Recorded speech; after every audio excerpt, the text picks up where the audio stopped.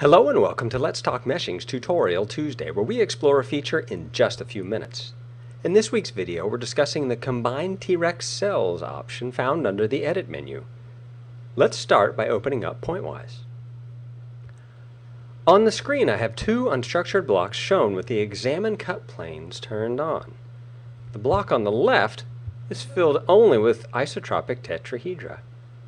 The block on the right contains several layers of anisotropic tetrahedra along the bottom, and the rest of the block is filled with isotropic tetrahedra. Today's menu feature that we're talking about is called Combined T-Rex Cells, and it's a great way to combine tetrahedral cells in the T-Rex layers in an effort to reduce your overall cell count. Let me close the Examine panel and we'll try it out.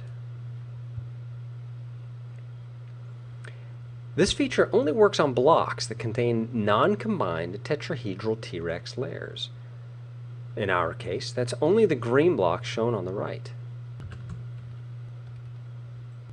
Let me select the block. According to our table, this block has 68,072 cells. Let's go to the Edit menu and select Combine T-Rex Cells. In this case, it worked very fast. Many of the anisotropic tetrahedra were combined into prisms, and that reduced the cell count to 46,428 cells. That's an overall reduction of about 31%.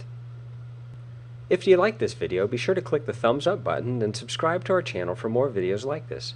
If you have any questions or comments, drop us a line down below or connect with us on Twitter, which is linked in the description. Thank you all and have a pleasant Tuesday.